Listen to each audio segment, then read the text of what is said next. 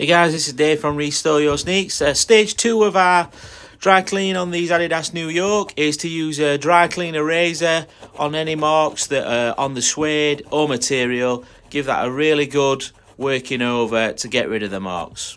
If you like this video, please like, follow and share. Thank you very much.